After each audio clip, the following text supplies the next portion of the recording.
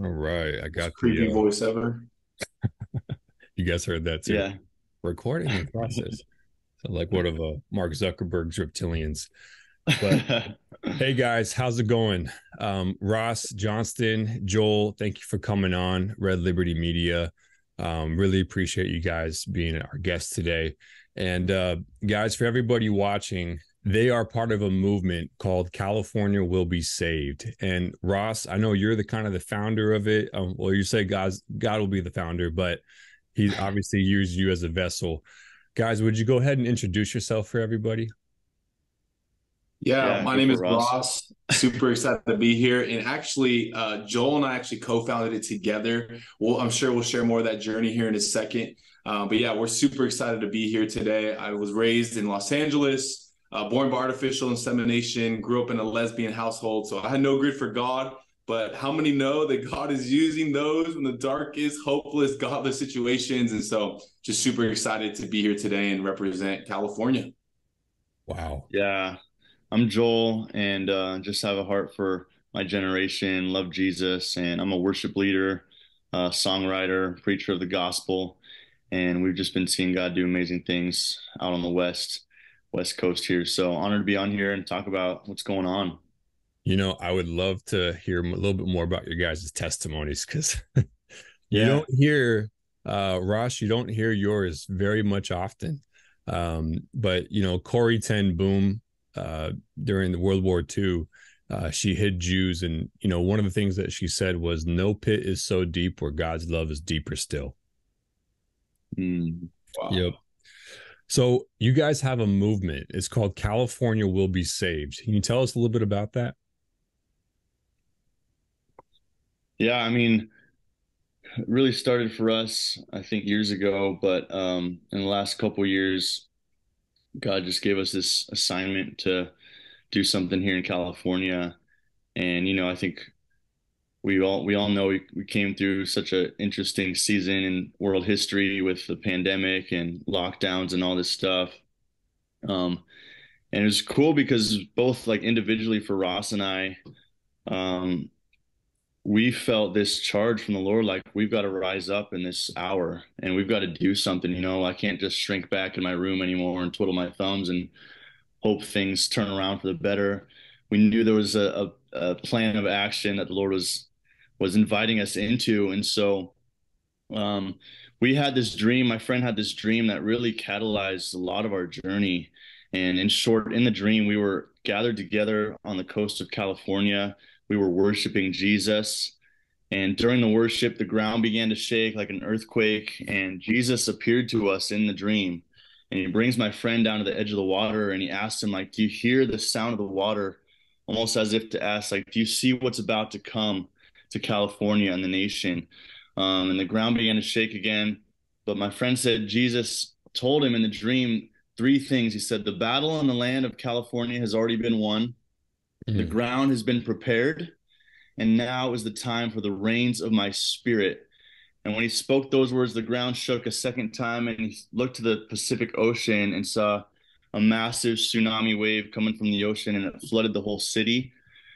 Um, and and he said he woke up early in the morning just shaking under the power of God, and he sent me the dream. And um, he said, Joel, I know that wave was symbolic of a wave of God's spirit that's coming to our nation you know, obviously a, a tsunami can be very detrimental in the natural, um, but I think there's something about in the, in the spiritual sense, the tsunami wave, it's all consuming, right? And it's powerful and it, and it um, brings refreshing. and so um, that really catalyzed us. That was the same kind of language that brought me out here in 2018 these promises of like waves of his glory, waves of his spirit washing over California, you know, washing over the nation. And uh, that catalyzed us. I asked my friend, Do you know where we were in this dream geographically? He said, Huntington Beach. And so we showed up, you know, a few weeks later, and I'm like, guys, we just got to do the dream. We just got to dare to believe in this hour that God's going to raise something up. You know, in the midst of the darkness and the corruption and all the chaos, like there's a wave of his presence that's going to push back that wave of darkness. And we got to do the dream, you know? And so we show up at Huntington Beach and, you know, we don't know what's what's going to happen. We try to get the word out, but we don't really have a lot of resources or following or anything like that. And we get there, and there's three three or four hundred people that show up right there at the pier, and we just start worshiping Jesus and preaching the gospel. And we give an altar call and people wow. are just walking off the beach like repenting getting right with the lord. They're, the altar is just full of people like receiving salvation and healing and deliverance. We baptized a couple dozen people in the ocean right there that weekend. And so that really kind of was the start of this whole thing. We you know one step at a time right? We knew though that the lord was confirming our steps and so ever since then that was a that was the summer of 2021 actually and so ever since then, we've just been going from city to city, right in the um, midst preaching of COVID. the gospel. Yeah, exactly. It's still like COVID restrictions and all the craziness at that time, and um, but in each city we we went to, like God was just showing up as we just brought these two simple things of worship and the proclamation of the gospel, and so we've just been on a rampage since then. Last two years, um, just going after California. So Oh my gosh. Uh, Ross, how about you?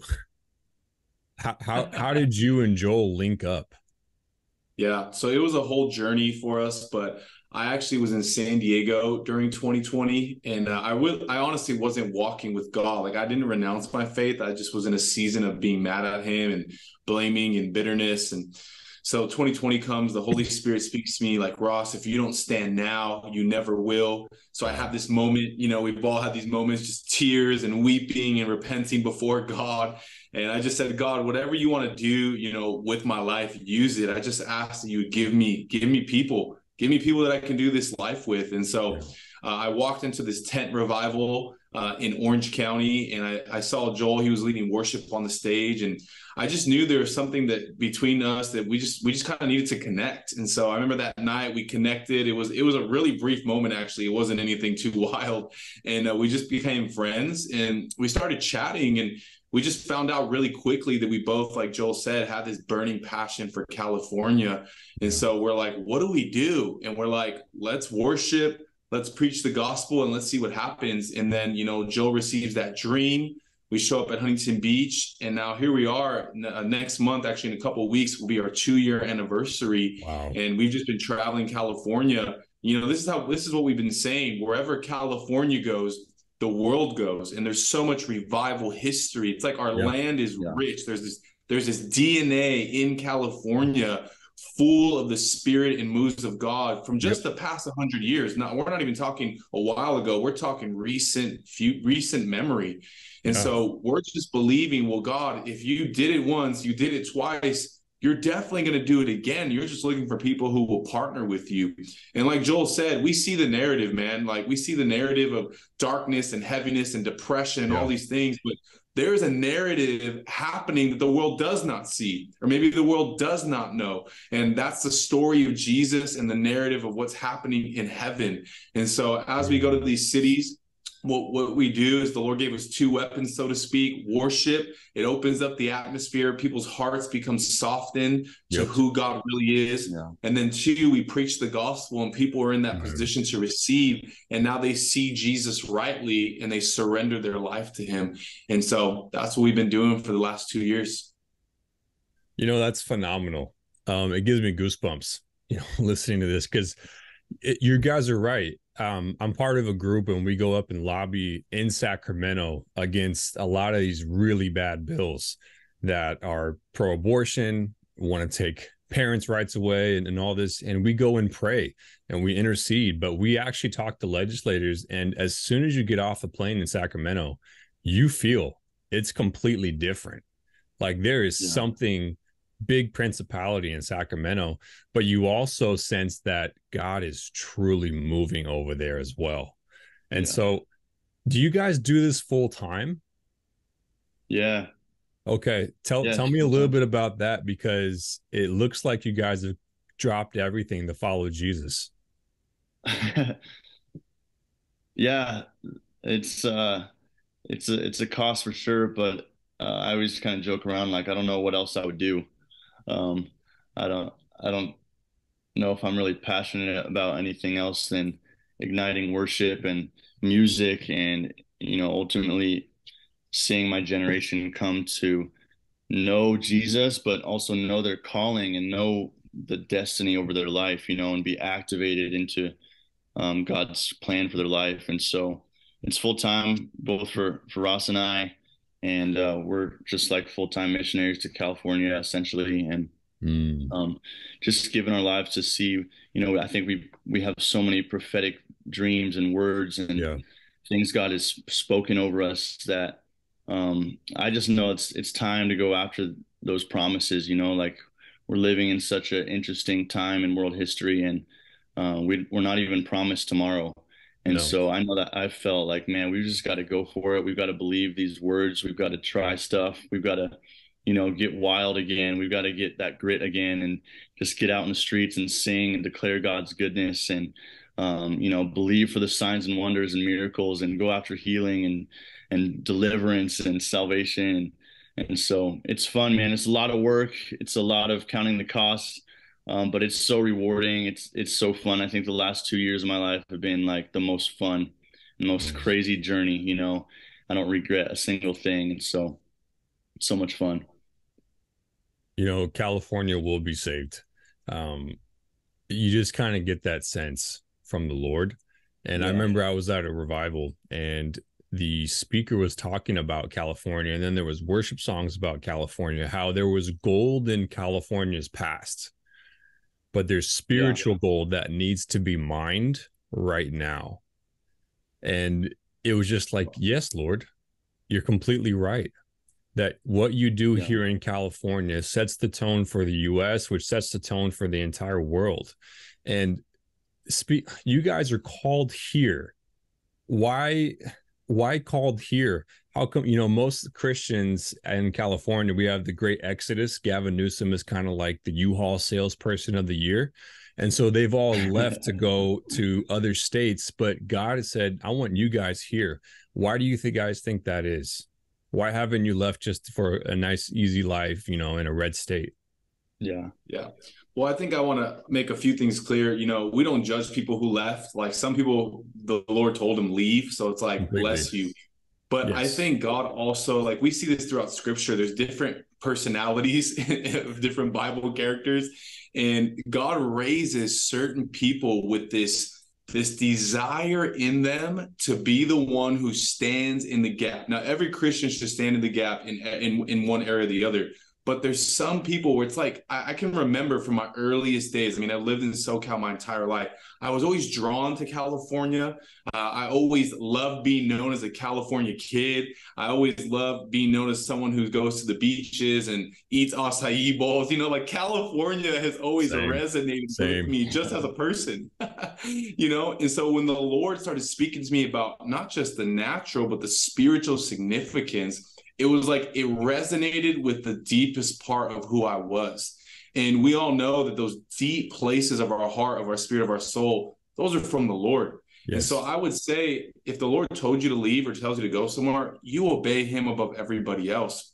But for those who don't sense that peace, it's like maybe the Lord is saying to you, I have given you and I've crafted you in a way where you are supposed to be the solution in one of the most darkest, hopeless, places in America. Amen. Because the truth is, though it's dark, though it's heavy, like we said earlier, there is a spiritual gold here. And who are those willing? Listen, I, I wasn't alive during that time, obviously, but I know when you're mining for gold, it is not easy. It is laborious. It takes time. It takes effort. It is not a one day type of thing. And so, why do we think, not saying everyone thinks like this, but sometimes we think, well, if it doesn't happen in a year, in a week, in a year, in, in 10 years, well, maybe I missed it. It's like, no, maybe God is calling you to do something that's so much bigger beyond yourself that you you need him and you need others to do it. Yes. And so I've just always felt this call in my heart. Like California is the place where I'm supposed to be. It's the mm-hmm. place I'm passionate about, I care about. And to be honest, I enjoy going to the streets and destroying the devil. And so I'm like, let's keep going.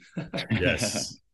Amen. Yeah. Amen. Just you to know. echo that really quick, like I think it comes down to what God is is speaking, right? And I know there's going to be people on here that you you feel the same call. There's going to be others that you're called other places, you know, and that's so awesome.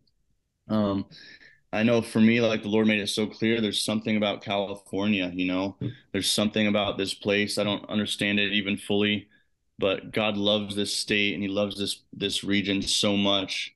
And we've, you know, we were just talking about this, but, you know, we've seen it throughout history that when something happened here, when the Lord poured out his spirit here, it was not just for this, you know, small area. It, it was, it was something for even the nations and the ends of the earth. Yes. And we see that through, you know, the Azusa Street revival and yep. Jesus People movement, how these revivals just spreaded and um, it was not just contained here. And so I don't know, man. I just like God has given me such a vision and a promise for this state that, you know, if if the church can unite and we can really understand the hour we're living in and we go after this thing, like we could witness something historic. Um, and and it, it could be something that reaches even the rest of the nation and beyond that and so i think that's kind of the prophetic insight like there's a i see it on the horizon you know i see that wave coming i see that tsunami wave on the verge of just crashing over our shores again and that's what's really compelling me i know our team like to keep fighting to keep striking the ground you know like just yes. keep going there's a greater wave there's a greater narrative um that god's releasing so amen Amen. The gates of hell will not overcome. Yeah. Because when the church is on the offensive, when the church gets out of the four square, four square walls of the church, hey, that's when the devil's like, oh no. We're t- yeah. He's totally fine with us singing and preaching like fire from the pulpit as long as we stay inside the church. Yeah. But when we leave, that is when the kingdom of darkness begins to tremble. So true, bro. Now so you guys have a huge event coming up on Sunday in Hollywood, right? Yes. Tell me a little bit about that. When is it happening? Where exactly is it happening? And what type of challenges have you faced with this? yeah, Ross, you want to take a stab at it first? Yeah. So I still can't believe I'm saying this. Joel and I are like in this like constant swirl, so to speak, of like, hmm. wow, this is really happening. Like we believe God, obviously, but sometimes you, you don't fully understand it until you see it in front of you. And so what started is kind of honestly a little bit of a joke. I was serious, but also kind of joking. Yeah. And we were thinking, we were like, okay, God's doing something special in LA. Like, where can we go next? Like we, this was not on our radar. This was not planned. We literally planned this two weeks ago. And I, I said, what if we shut down Hollywood Boulevard? And wow. it sounds so out there. You're like, okay, Ross, like chill a little bit, man. Like I love your faith, but like chill out. Well, we decided to try it, and the police department has been so open. And they were like, listen, we're going to work with you on this. We officially got a permit to shut down Hollywood Boulevard right in front of the Chinese theater on the nice. Hollywood Walk of Fame. So, talk about going to the most, yes, it's dark there, but it's also the most influential city probably in the entire world. And yeah. so, we're going to be there this Sunday uh, July 30th at 5 p.m. We're going to worship. We're going to preach the gospel. We're going to baptize people. Um, we actually have a segment dedicated to human trafficking. I'll let Joel share a little bit more of the prophetic insight as well. But there's just so many moving pieces that God is bringing together at this specific moment for Hollywood. And here's what I want to say before I toss it over to Joel. This is Joel's scripture that he it's in Isaiah, but it talks about can a nation be saved in a day? Well, my question is can a city be saved in a day? And so we're believing that as we go, we're going to lift up the name of Jesus and we will see Hollywood shifted and saved in one day. You know, Joel, before you go, uh, I just got done reading Jonah, and Jonah hmm. goes throughout the city of Nineveh, and yeah. God's spirit moves, and they are saved in one day, and God holds off wow. judgment. And what you guys are doing, it's kind of like Paul going to Mars Hill the most influential place of where yeah. you're supposed to be, tearing down those high places. Yeah. Anyways, go ahead, man. Oh no, thanks for bringing that up. That's so good. Um, yeah, I think you just got to try stuff sometimes. You know, you just got to dream with the Lord, and um, that's the place we've been in. We just did two events earlier this month in different parts of LA, and a lot of different outreaches and pop up worship moments, kind of intermixed. Um, and we just saw so much fruit, man. Like God was just moving like crazy salvation, deliverance, healing. You know, we're baptizing people across the city. And after that second event, I was like, man, I feel like we're supposed to keep doing something in this city. You know, our our, our home city of Los Angeles. Yeah. Uh, I feel like we can't just stop. You know, we kind of had our whole schedule planned out earlier this year, and this was not on our radar. But but I was like, man, there's something going on right now in LA, and so that's when we started to just kind of brainstorm. Where could we go? You know, what's the location? God, what are you saying? You know, we want to be in tune with. That's kind of been our whole journey. Is just what is God saying, and we want to do that. You know.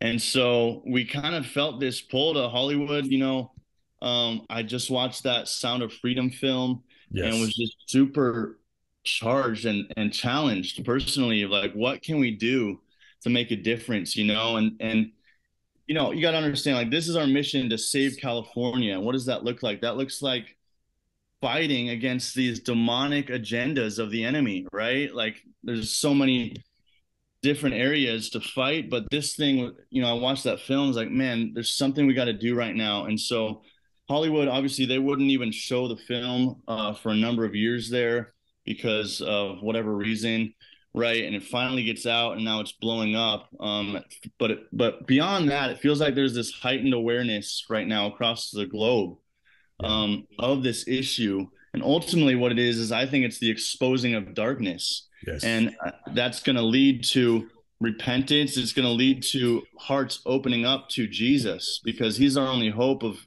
of ending these kinds of issues. It's, it's either God shows up and he breaks in and cuts the head of the serpent off or we're just we're hopeless down here, you know? And so that's what I'm sensing right now. I, I feel like there is an openness right now and a, an awareness for the gospel to go forth um, so we are going to go after this issue. We want to bring awareness. We've got friends coming that have worked in this field of fighting human trafficking, of rescuing children.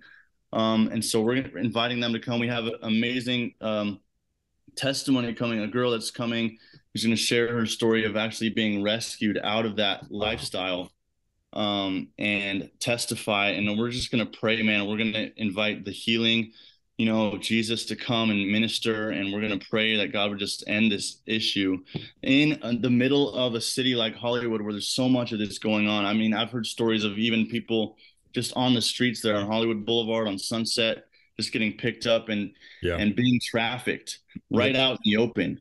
And so, you know, we want to go in and be the light. You know, what do we do? We don't have it all figured out, but we've got to do something.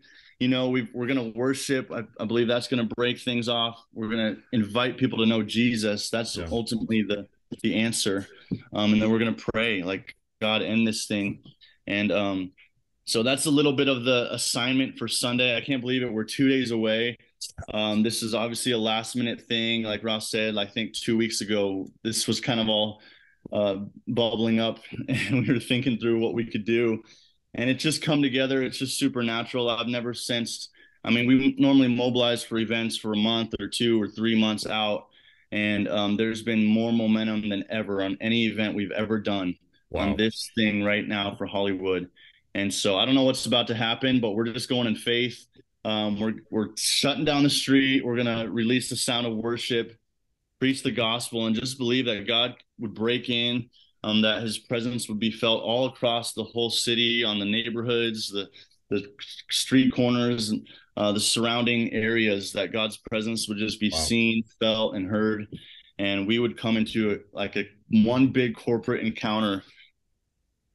Sake of California, so you know it's amazing what God's doing. Uh, the day before, there's actually there'd be a huge protest and prayer and worship night um, right outside of the DuPont abortion clinic. Yes. Will or will not be open. I'll be there up. actually. Yeah. Perfect. We I'll will see be there. I yeah. will see you guys there. Let's um, go. I will see you guys there tomorrow night. And then yeah. you got this happening the very next day. So absolutely amazing. And I, I wrote down some notes while you were talking. Um, Joel, your dream. It's it's so funny how God works. Um, I just interviewed Ben Pauling. He's an actor and writer, and him and his brother uh, basically had a dream and mm-hmm. about child sex trafficking. And yeah. now they're trying to make a movie about it. And what I told him was, hey, in these last days, what the what does the prophet Joel say? That your yeah. old men will see visions and your young men will dream dreams, and I will yeah. pour out my spirit on all mankind. Yeah. And uh, what's also very interesting is you guys are doing this right in the middle of the writer and actor strike. So yeah. God is like lined it up perfectly for the timing of saying, Hey, I shut down Hollywood so that everybody can get back to me. Yeah. Wow. Perfect timing, guys. Yeah, it's wild, bro. And we we found this out later too, but United Nations hasn't stated like a, a child trafficking awareness day on June 30th. Lo and behold, or July 30th. July 30th of all days. Funny. Wow. You know, we found that out Amazing. after the fact too. So like you're saying, it's God is just doing something right now. I think yeah. both Ross and I are just like along for the ride. You know, we just want to kind of be present and steward it. pray for my voice. I've been singing too much. Um, we just kind of want to steward this thing and, um, you know, say, God, here we are. Just do whatever you want to do. We're here for it. And um, we'll, we'll believe with you, you know? So Man, it's crazy what's going on. There are no coincidences with the Lord. Well, guys, what type of finances are needed? How can people help? Where can they find you guys? Where can they give? Yeah. Um, well, this is this is the biggest event we've ever done, and um, we felt like we got to do it right. And uh, we're you know we're going through all of this work to shut down the street and everything. We're like, we got to do this right. We want to show up with the right gear and the right staging and equipment. And um, so we've got a ton of things to pay for, everything from staging to a crew to sound rigs, the permits, fencing, um, promotion, and banners, and sure. Um, uh, so we're raising fifty thousand um, dollars to cover. This is just all encompassing. That's everything from everything I just mentioned there. And so I think right now I got to double check, but it looks like this morning we were at like seventeen thousand. So we've got about what thirty thousand plus to go in the next couple days here, um, just to cover everything. And so you can go to our social media. Um, we have Venmo, we got Cash App. It's just at CA will be saved. Um, but it's online. It's on our website. We got all that info on there, and we're keeping updates on there as we're raising funds. Uh, that would bless us tremendously. So, yeah, we'll make sure to just put one more that. thing too. Go ahead. Yeah, we also have a text to give number. There's been some warfare earlier in the week with it, but it is back online, I believe. So perfect. If you text, yeah, if you if you have a you know a bigger contribution you want to give to us, one you can write a check out to California will be saved and just message us on our social media and we'll give you all the uh, info. Or two, you can text the word give. So if you go into your text messages and you type in the word give in the message box, you text it to the number 714 406 1680. I'll say it again. text the word give to 714 406 1680 and it'll take you through a little prompt. But yeah, we're super grateful for everybody who's sown in and everybody who will. It's, it's going to bless us tremendously. Yeah, we'll put all those links and everything that you guys mentioned in the description below so that everybody can uh, you know, have it there as well. Man, well, Thanks. guys, thank you so much for coming on. You know, before uh, we sign off, every person I like to interview, um, I always like to give them the mic for a minute and basically say whatever's on their heart. Um, it's kind of like a good sign off. But yeah. I want to I want to bless you guys and thank you guys so much for coming on. And we'll be praying. And I'm looking forward to seeing you both uh, tomorrow night yeah. at the DuPont Clinic, and uh, looking forward to what God has in the future. So, uh, Joel, why don't you start, and then Ross, you can finish up. Yeah, thanks, Tim. Thanks for having us, man. Uh, I I don't know. I think the only thing I'd say is um, you know we're not promised tomorrow james says this life is like a vapor and so my challenge i think to everybody right now uh, especially young people is like man let's do something crazy. Let's dream with the lord. God is the best storyteller. He's the best best author. Um, there's a plan there's a dream on his heart for your life. And um, there's a bigger story that he's writing you know? And so let's tune into that let's dream with him, man. When we graduate on from this temporary life, we're going to look back and say, man, we gave everything we had uh, to bring, to partner with the Lord, to bring redemption, to bring salvation, to rally people into heaven.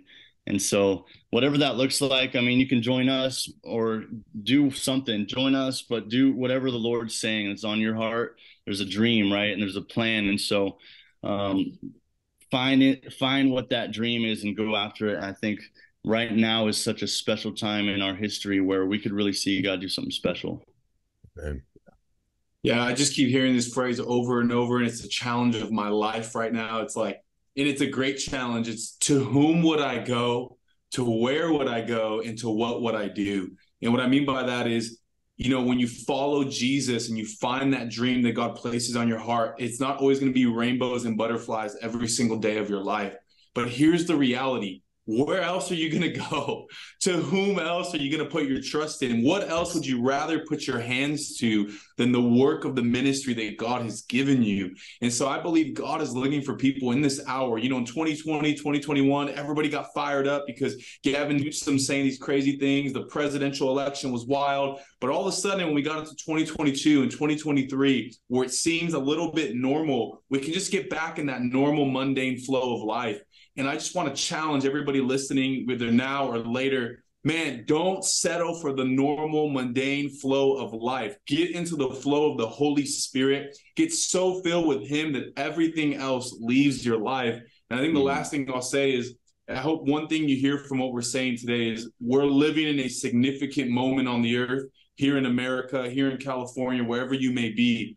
Would you be willing to break past any apathy, any indifference, any heartbreak, any slander, anything coming against you from the enemy or for, from a person? And would you be willing to say, God, I'm going to pursue you with every ounce of my being? Mm-hmm. And friend, if you can remain in that place, I promise you, God will use your life in ways that you'll never fully be able to comprehend. And so I just encourage you, tap in and stay with the Lord, pursue him and seek him with all you have. It'll be the best decision of your life.